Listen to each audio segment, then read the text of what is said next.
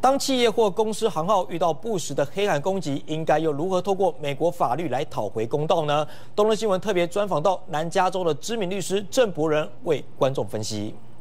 面对竞争激烈的商业社会，其实黑函是一个非常重要的一个手段之一。而随着电子科技的不断发展之后，其实黑函的部分也是跟着推陈出新。而在这样的情况之下，一般的企业该如何面对呢？今天我们非常荣幸的邀请到了郑博文郑律师，就这个话题讨论。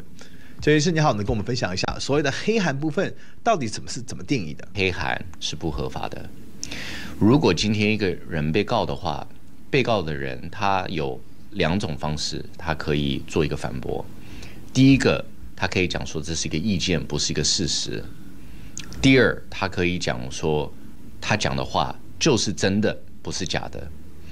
那关于这个。嗯，意见跟事实的话，呃，很多人因为不懂法律，他们不知道怎么样子去分别，呃，然后今天的话解释也比较困难。可是要让每一个人知道，就是如果今天他收到一个黑函诽谤，我们要看那个黑函是不是一个意见。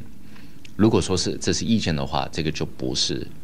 诽谤。一般人在借由一些网站或电子平台做一个诽谤或者是黑函动作的时候，这些网站或电子平台需要负连带责任吗？如果你告所谓的，呃，有的人讲说是电脑公司还是中介公司有放那个网站他们的话，美国的法律是讲说他们没有连带责任，他们没有连带责任，所以如果你今天告那个公司的话。那您会输。就你刚刚说，一般网络平台不需要负连带责任，但是有没有例外的情况？如果今天网站公司他是鼓励诽谤你的人去做事，那这个网站公司就不是一个单纯的网站公司，他也是在鼓励这个人来诽谤你，他也在诽谤。因为诽谤的法律是讲说，今天如果你跟一个人讲 A。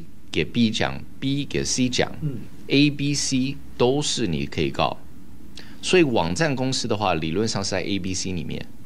如果这个网站公司他知道说这是诽谤的话，还有他有鼓励这个诽谤的行为，那鼓励这个诽谤的行为的话，那网站公司就会有连带责任。那请问郑律师，如果我不知道是谁在诽谤我的话，我可以进行提告吗？你可以告所谓一个。无形的人，所以今天如果我们告一个无形的人的话，我们可以用法庭的手段去抓别人的证据。我们不是告那个电脑公司，可是我们可以从电脑公司拿所谓的邮件跟这个信息，最后我们可以知道 IP 的 address 在哪里，地址在哪里，然后我们就可以知道说谁。讲出来这个话，那一般人要对所谓的黑函或者诽谤进行起诉的话，有什么需要注意的地方？美国的门槛很低，如果要告别人的话，可是你要面对一个事实，就是如果你是从原告人的角度，然后你的案子不好，你们要知道说最后的后果是你会输。可是美国百分之九十七的案子都是庭外和解。不会有一个大庭的审判日期，虽然有了百分之九十七还会和解。感谢周律师的详讲解跟耐心说明，相信观众对于黑函或者诽谤部分有一定了解。这边要呼吁所有的观众，有任何法律上的疑惑，一定要找到一个专业单位进行咨询。